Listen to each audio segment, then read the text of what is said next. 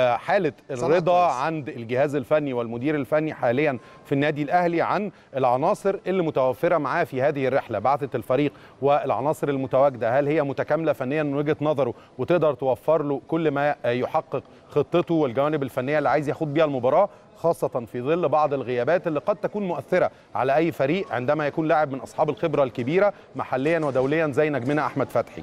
كلمنا عن الغيابات ورأي المدير الفني.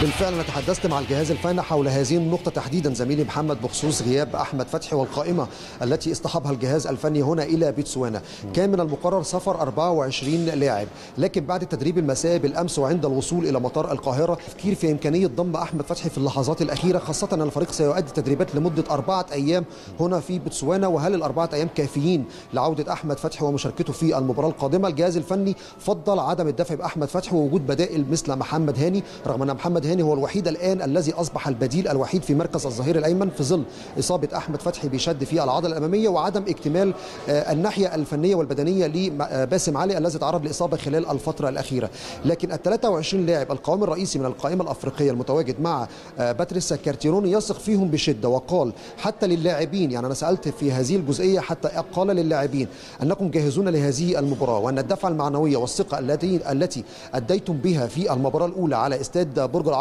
كانت جيدة جدا وستعطينا الدافع في المباراة القادمة. الجهاز الفني قدر الإمكان سد بعض الثغرات في بعض المراكز في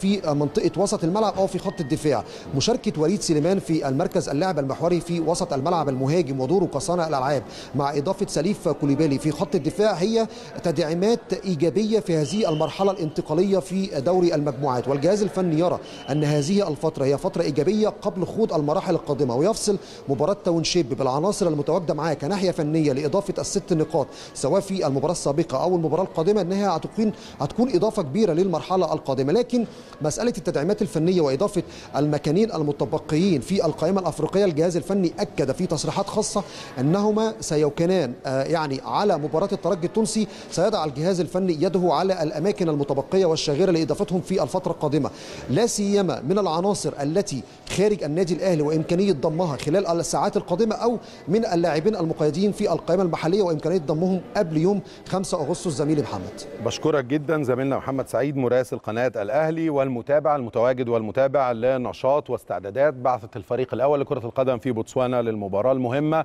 يوم السبت المقبل مباراة العودة بعد الفوز بثلاثية نظيفة في مباراة الذهاب والمباراة اللي الكل بيؤكد إن شاء الله إنها هتمثل دفعة كبيرة جدا بالحسابات والأرقام و